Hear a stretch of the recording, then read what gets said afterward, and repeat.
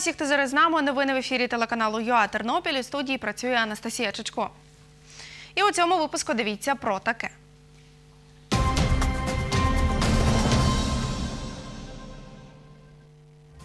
«348 тисяч 240 бюлетенів члени Тернопільського 163-го округу видали на дільниці.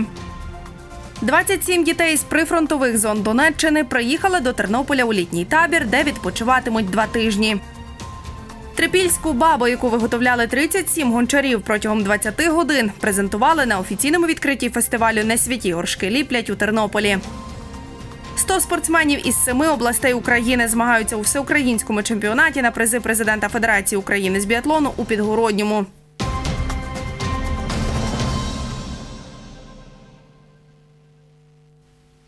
Окружна виборча комісія Тернополя номер 163 завершила видачу бюлетенів членам дільничних комісій, повідомила секретар комісії Олена Ткач. За її словами, видали 174 тисячі 120 бюлетенів для голосування на одномандатному окрузі і таку ж кількість для багатомандатного. Документи отримали 85 дільниць, які зареєстровані в Тернопільській окружній комісії. Любов Гадомська розповість про це більше. Це палац культури Березіль. Тут знаходиться окружна виборча комісія. Члени дільничних комісій стоять у черзі на отримання виборчих бюлетенів. Однією з перших їх отримала дільниця номер 108, яка знаходиться у цьому ж приміщенні. У нас на дільниці 2420 виборців згідно уточних списків виборців. І ми отримали достатню кількість бюлетенів для забезпечення волевиявних громадян 2436 в одномандатному виборчому округу і 2436 по багатомандатному виборчому округу. Члени комісії починають рахувати бюлетені. За столом місця вистачає лише п'ятьом з 11 людей. Місця мало і взагалі не обладнано. Як пристосуємося, так будемо робити. На те, щоб перерахувати бюлетені для голосування за партійними списками, комісії знадобилося 40 хвилин. Їх проштампували і поклали до сейфа. До дня виборів охорону дільниці забезпечуватиме капрал поліції Тетяна Свищ. Я буду забезпечити охорону безпосередньо дільниці, а на даний момент сейфу, доки він ну, коли буде опечатаний. До дня виборів, доки не, не прийде комісія і не витягне бюлетні. За словами голови комісії Олега Гумена, приміщення для голосування виборців, яке знаходиться у фоє Палацу культури Березіль, готуватимуть завтра. Поки що тут встановили лише металеві конструкції для кабінок. На іншій дільниці номер 127, яка знаходиться у 18-й школі Тернополя, до виборів готові на 90%, розповідає голова комісії Ярослав Лукавий. Щойно сюди привезли бюлетені. Ярослав Лукавий показує приміщення для голосування. У нас є е, чотири кабінки. Тут будуть е, обладнані столики для голосування, буде прикріплена ручка для того, щоб е, люди могли проголосувати. У нас є 2299 виборців. У нас є чотири стаціонарні скриньки для голосування і дві переносні, з якими підуть люди по домах. Е, Це буде приблизно відбуватися в 14 годині, коли вони будуть виходити, і вони мають до е, 18.00 повернутися на дільницю. На даний час є 14, але ще до 8 години люди можуть е, прийти і написати заяву для того, щоб до них прийшли проголосувати е, додому. Наша дільниця обладнана засобами для пожежогасіння. У нас є 4 вогнегасники. Один тут біля кабінок, і решта знаходяться на посту чергових. Близько 13-ї години члени комісії приступають до перерахунку та штампування бюлетенів. Голова комісії показує, де зберігатимуть їх після опрацювання. В цьому сейфі після перерахунку і пропечатування будуть е, зберігатися бюлетені аж до відкриття дільниці, до е, 7.15 неділі. До того часу, поки ми не почнемо ранішні дні засідання. Любов Гадомська, Андрій Бодак. Новини. 84 із 85 дільниць, які зареєстровані у 163-му окрузі, готові до позачергових виборів, каже Олег Гумен, окрім однієї дільниці, яка розташована в Тернопільській 29-й школі. Окрім 163-го виборчого округу з центром в Тернополі, в області є ще чотири округи. У 167-му виборчому окрузі з центром у Чорткові бюлетені отримали вчора дільниці Борщівського і Заліщицького районів. Сьогодні отримав Чортківський район і місто Чортків. Усі виборчі дільниці до виборів готові. Їх у 167-му виборчому окрузі 212, повідомила секретар комісії Світлана Савків. У 166-му Теребовлянському окрузі частину бюлетенів отримали вчора Бучач і Монастириська. І сьогодні бюлетені забрали представники дільниць Гусятинського і Теребовлянського районів. Всього в окрузі 270 дільниць. Вони теж готові до виборів. Повідомив голова 166-го округу Михайло Пласконь. У 165-му виборчому окрузі, що у Зборові, вчора бюлетені видали на дільниці Тернопільського, Кременецького і Підгаєцького районів. Сьогодні бюлетені отримали дільниці Бережанського, Козівського і Зборівського районів. У цьому окрузі зареєстровано 308 дільниць, повідомив секретар Руслан Прінь. І у 164-му Збаразькому окрузі видали бюлетені. Документи отрима... документи, перепрошую, ще не отримали 86 дільниць зі Збаразького району. Повідомив голова 164-го округу Євген Шеремет. За його словами, всього в окрузі зареєстровано 308 дільниць. Представники громадянської мережі ОПОРА перевірили дільниці Тернопільщини на доступність для людей з інвалідністю. Про це повідомила омбудсменка із захисту виборчих прав ОПОРи Ольга Мазаєва. За її словами, пандусами облаштовані 112 дільниць із 1183, які є в області. Дуже маленька частина обладнана пандусами. Це буквально 112 дільниць. Ми робили запити, хоча, на жаль, не всі ем, районні адміністрації відповіли нам на наші запити, але з того, що відповіли, можемо сказати, що фактично десь 10% тільки обладнано пандусами. П'ята частина дільниць, ну десь порядка 70 дільниць знаходиться вище або нижче першого поверху, що є дуже критично для осіб маломобільних, тому що якщо пандуси дозволяють зайти в будівлю, то вже підніматися на поверха цим людям звичайно дуже важко. Кожен е, громадянин, який потребує, який не здатний самостійно пересуватися, може звернутися до органу ведення державного реєстру виборців і е, поставити постійну позначку. Е, Цю позначку постійно передають головні лікарі, е, е, керівники управління охорони здоров'я до органів державного ведення реєстру виборців е, е, стосовно осіб, які не здатні самостійно пересуватися. Якщо така позначка не стоїть, людина сама може звернутися. Також, за словами Ольги Мазаєвої, сьогодні до 20-ї години люди з інвалідністю можуть звернутися до представників дільниці, на які вони зареєстровані, із заявою і медичною довідкою про те, що вони не можуть самостійно пересуватися. Тоді члени дільниці у день виборів, 21 липня, прийдуть до них додому із переносною скринькою. 14 можливих порушень виборчого законодавства на Тернопільщині розглянули у суді. Про це повідомила Ольга Мазаєва. У трьох справах суд визнав, що порушення не було. У трьох випадках особам, на яких поліцейські склали адмінпротоколи, винесли усне попередження. Вісім осіб отримали штраф від 51 до 340 гривень. Зараз продовжується ще е, розгляд справ, які були е, порушення, які були зафіксовані під час попереднього е, виборчого процесу. Так що станом на сьогодні, взагалі, по вс- всьому виборчому процесу, по всіх виборчих процесах з початку 2019 року, ми маємо 74 а, е, постанови, про які винесені судами в справах про адміністративні правопорушення. Ну, переважна більшість 90% з них це є притягнення до відповідальності за розміщення друкованої продукції без вихідних, без передбаченим законом вихідних даних. Але уже станом е, на сьогодні у нас є досить багато ем, е, е, постанов у справах про притягнення до відповідальності по статті 212.15. Це нова е, фактично е, нова стаття, по якій раніше не притягувалося переважно до відповідальності. Це є е, порушення порядку фінансування політичних партій.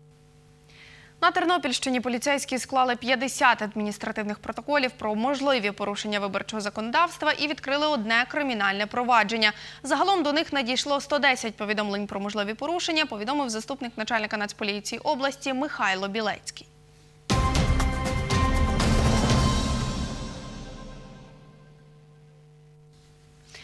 Поліцейські затримали двох підозрюваних у вбивстві в селі Бриків Шумського району, повідомив заступник начальника Нацполіції області Степан Яцух.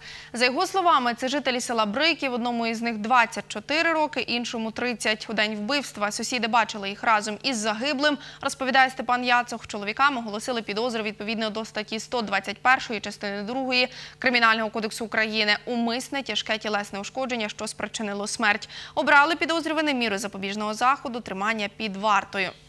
Це кадри з оперативної зйомки поліцейських. Ви бачите, як вони проводили слідчий експеримент.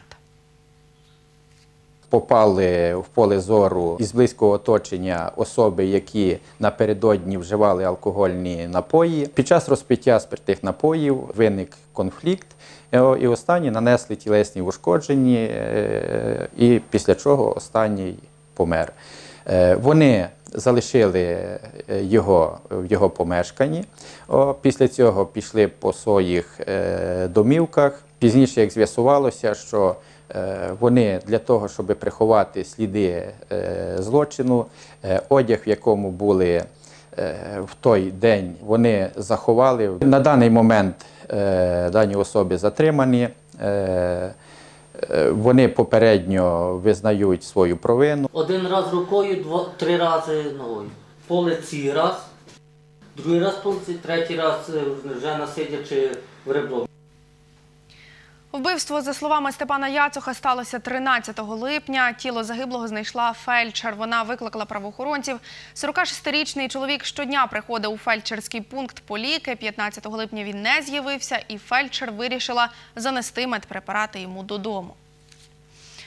Чоловіка, який вранці повідомив про замінування залізничного вокзалу у Тернополі, знайшли тернопільські правоохоронці, повідомив речник Нацполіції області Сергій Крета.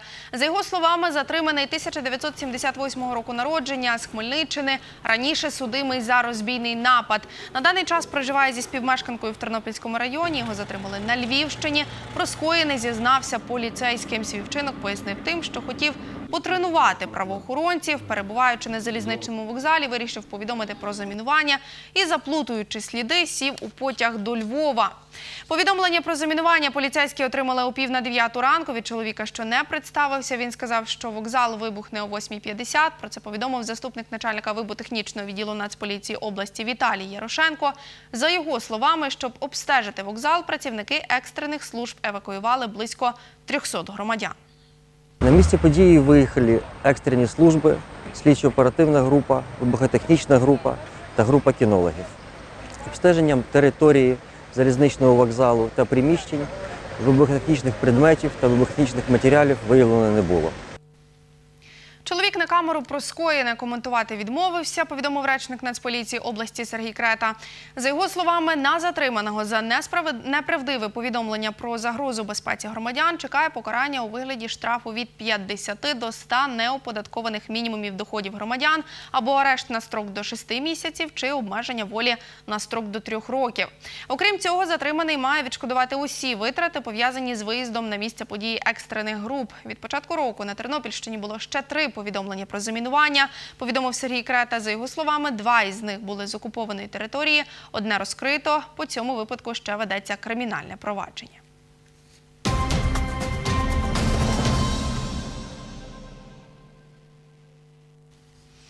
«27 дітей з прифронтових територій Донеччини приїхали сьогодні на Тернопільщину у літній табір, повідомила волонтерка логістичного центру допомоги бійцям антитерористичної операції Христина Феціца. За її словами, це діти з багатодітних сімей, діти переселенців та учасників бойових дій на сході України. Їх супроводжують троє волонтерів. Ми на Тернопільському залізничному вокзалі. На третю колію за кілька хвилин прибуде потяг Маріуполь-Львів. У ньому волонтерка Христина Феціца супроводжує дітей з Донеччини на відпочинок на Тернопільщину. Діти приїхали з сіл Новомихайлівка та Керменчик, селища Велика Новосілка та міста Соледар Донецької області. Богдану Яценку 14. Він з села Керменчик Великоновосілківського району Донецької області. Розповів, чого чекає від відпочинку. Хочу знайти більше друзів, відкритися зі ну, душою, відпочити. Хотів би просто по, по, подивитися на, ну, на прекрасні вулиці. Вихователька Яна Соломаха з соціально-психологічного центру реабілітації привезла на відпочинок п'ятеро дітей. Думаємо, що відпочинемо у вас тут добре все. Нам е, поки їхали, було все класно, нам сподобалось дуже. Природа гарна, люди дуже доброзичливі. Нових вражень хочеться. Подивитися, як тут, е, які тут колорити, які тут традиції, що тут таке не таке, як у нас. Анна Демічева приїхала з Солодару Донецької області. Мама предложила поїздку. Мама запропонувала цю поїздку, і я подумала, потім погодилася. І не дарма це зробила. Я тут вперше, в таборі теж вперше, і мені вже подобається тут. Мені вже всім подобається тут. Волонтерка Христина Феціца розповіла, як проходитиме відпочинок.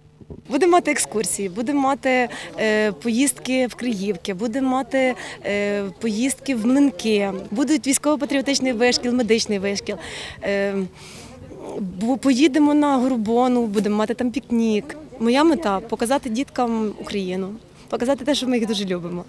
Е, Що Україна не має меж і насправді немає кордонів, і її ніколи не роз'єднують.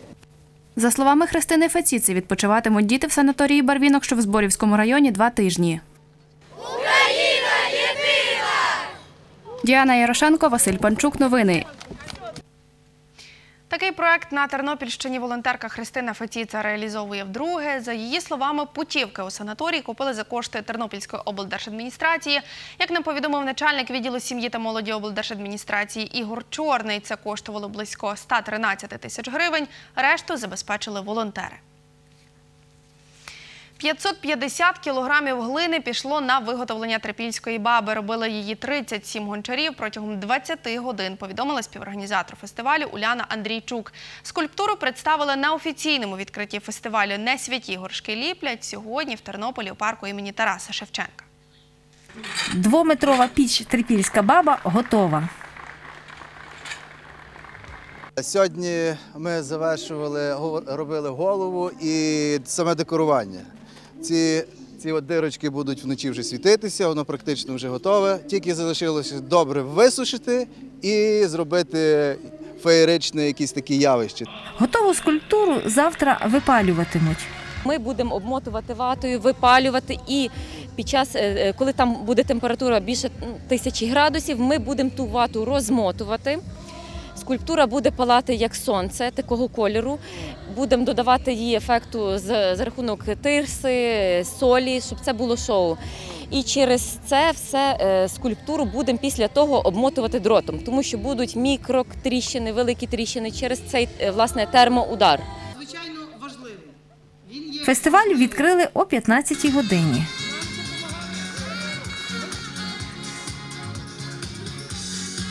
«37 гончарів з 17 регіонів України запросили на сцену. Кожному вручили каталоги учасників фестивалю.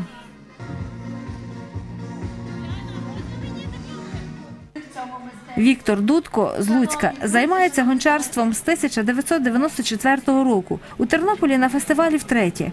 Спочатку треба глину взяти в дуже хорошому настрої, бо якщо без настрою, то ну, це мало що вийде. З хорошими думками. Кидаємо на круг. Першою нам треба її відцентрувати, щоб вона рівненько рівненько стояла. А тоді вже ми вже поки центруємо, ми вже е, з думками, що ми маємо зробити. І тоді вже пальчиками, з хорошими мислями починаємо робити свій виріб. Цьогоріч приїхав з 17-річною дочкою Юлією. Сьогодні він проводить майстер-клас для неї. Очима розправляйте ваші крила, направляйтесь на нашу площу.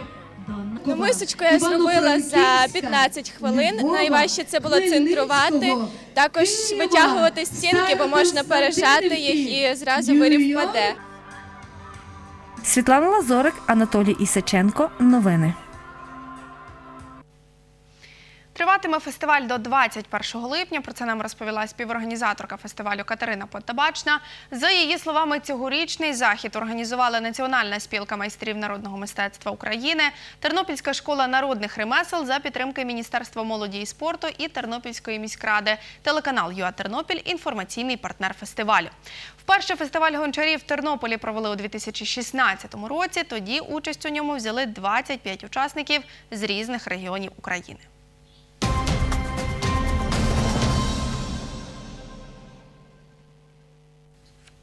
І на завершення про спорт. Всеукраїнські змагання на призи президента Федерації України з біатлону тривають на біатлонній базі у Підгородньому Тернопільського району.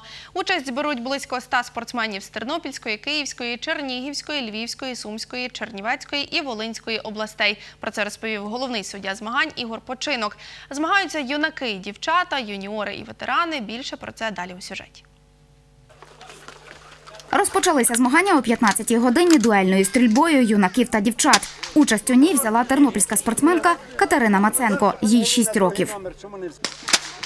Я два роки ходжу на біатлон і два місяці готувалася на ці змагання. Мені сказав піти на біатлон мій сусід. Він теж займається біатлоном і мені порекомендував сюди ходити.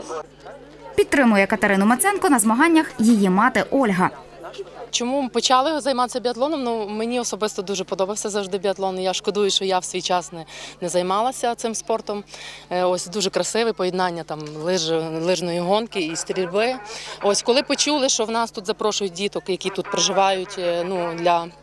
Тренувань ми зразу погодилися і почали ходити. На виїзді ми не були ще змагань, наші не було таких тут, що які проводили зазвичай, то ми завжди приймали участь. Катруся завжди посідала там якісь призові місця, ну майже завжди. –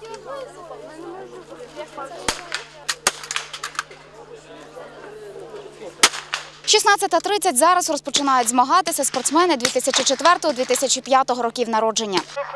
Це Данило Большой із Києва посів шосте місце на цих змаганнях. Показали непоганий результат, як для перших моїх змагань е, з дуельної стрільби. Я собою е, ну, задовільна, хотілося б краще. Чемпіонат України брав участь і всеукраїнський, от як зараз змагання, чемпіонат області, міста Києва. Тренерка Данила Большого Ірина Свистюля розповіла, як оцінює виступ спортсмена. Стріляє він також вже ну, добре, звичайно, тільки що 5 стрельнув промахів, ну це буває. Сам просто себе психологічно не настроїв. В нього ну, дуже гарний приріст іде. Він е, спочатку був такий, трохи не подобалось йому, там такого плану, а потім він якось війшов в цей ритм, йому дуже подобається. Він тільки росте з кожним роком все більше і більше, і, сам тягнеться, тому що йому це подобається. Ірина Свистюля розповідає, із Києва на ці змагання приїхали 15 спортсменів. Головний суддя змагань Ігор Починок каже, спортсмени добре підготовлені, але у них були би кращі результати, якби вони мали новішу зброю. рівень е, в стрілковому плані зростає, але так як якість гвинтівок. Е, ну, гвинтівка сама молода в Тернопільській області 90-го року. Вони практично вже свій ресурс давно вичерпали. І коли в нас е, один з тернопільчаний попав у фінал, а в фіналі в нього тут було, може, зафіксували е, осічки, то вже кажуть про те, що вже не залежить від майстерності е, спортсмена, от такі якість стрільби, а вже залежить від матеріально-технічної бази. На жаль, ми тут пасемо далеко, далеко, далеко ззаді. Ігор Починок каже, змагання триватимуть до 21 липня. Ірина Терлюк, Андрій Бодак. Новини. Як нам повідомив головний суддя Ігор Починок, сьогодні спортсмени змагаються у дуельній стрільбі. Завтра у них спринт кросом і у неділю змагання на лижеролерах. Змагання проводять дев'ятий рік поспіль. Також сьогодні тернопільські біатлоністи відзначають 45-ту річницю з дня відкриття першої групи місцевої школи біатлону, каже Ігор Починок. І на сьогодні це всі новини. Дякую, що були із нами. Бажаю вам цікавого вечора п'ятниці і затишних вихідних. Побачимось.